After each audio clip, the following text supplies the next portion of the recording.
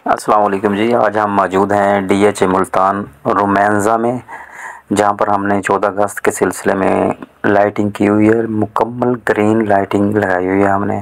ये देखें कितना खूबसूरत व्यू आ रहा है इसका और आपको फ्रंट दिखाते हैं इसका होटल का।